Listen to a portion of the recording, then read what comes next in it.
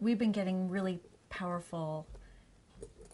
messages from Jesse. You know, blinking lights, and then um, just some some some beautiful things that happened, and and the world had reached out to me with with such love, and I kind of wanted to reach back out and and let everybody know what was going on. I wanted to show the world Jesse's message, which is nurturing, healing love, which which I really believe is is so powerful, and it was such a powerful comfort to me, and I thought it might be comforting to everyone out there who was grieving with me, so many people, and also though I believe that it's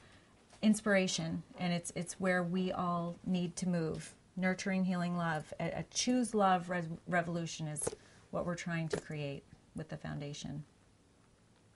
When is the book scheduled to uh, be published the book is being released october 29th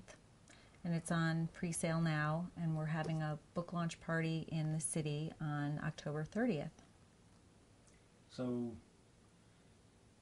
tell me a little bit about jesse that's in the book um, well, I say that Jesse was always kind of larger than life. So Jesse was born um, at 11 pounds. And so he was a big baby, big voice, and really strong. Um, in fact, one of the things that, that I tell is that um, the first time I went to the nursery to see him, all the nurses were gathered around the window taking pictures and i kind of walked up and i said what's what's going on and jesse had crawled to the bottom of his bassinet and so he was kind of pushed up against the the uh, glass there or the plastic and uh, it was so funny because he was really strong you know and uh, so that just that became you know his character throughout his whole life big and strong What do you think Jesse um, would be doing this year?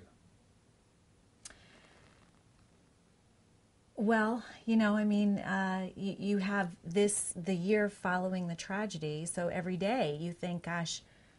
this day last year, I was with him, and what what he would be doing, he would be uh, happily playing soccer,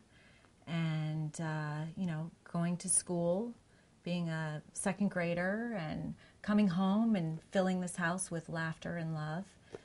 And uh, i'm just hoping that he's doing all that in heaven we've had some incredibly miraculous things happen and that's another reason why i wanted to write the book and I had such an outpouring of compassion from everyone